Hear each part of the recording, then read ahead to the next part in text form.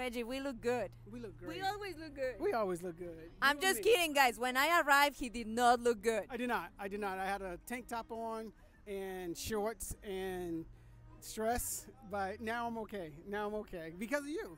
She walked up like, what? Y'all, she walked up and the music just kind of slowed and everybody was in slow. She was in slow motion. He's just being silly. He's the producer, so he was doing his job, and now he finally look good. And are you nervous? No, um, I'm all right. Look, I was nervous because I want to make sure everybody eats first. Um, but now I'm okay. We got the food going and everybody is ready to jam. Are you gonna eat? Is it pollo? I will have to. Yes, get that pollo. Come on. So. And how did you get involved with this project? Well, my producer, my writing partner and producing partner, Marcus Fomar, uh, we wrote A Dark Way Out, last film, and he had this idea that he's been brewing in his head for years, and he told me about it, and he's like, "I want you to come on and produce it," and I'm like, "I don't usually produce plays, but it's him."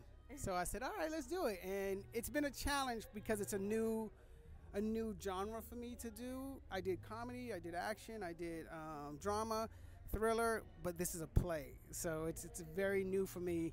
But we got over the hurdles, and we're here. We're here. It's a fun, fun play. It is. It's gonna you're gonna laugh your head off, and there's gonna be some stuff that make you go, ooh. It's gonna make you think. Okay, I'm so excited to see it. Congratulations! You also had a move a movie recently. It's premiered. Um, it's on Apple TV called A Dark Way Out with Danny Trejo, um, Dermot Mulroney. I directed, wrote, and produced it. Um, co-wrote with Marcus, and yeah, we got two more films that we're going in production with right after the 18th. So the 19th, I'm going right back. So yes. No break. What's a, what's a break? What's that? What is a break? What is that? Yeah, no break. So it's gonna be fun. Well, my last thing, you know it. I want to hear your Spanish. Let's see how it's improving. Ay, coño. Oh, ay, caliente. Ay, no. Um, I haven't improved. I, I need to. I'm embarrassed to say it.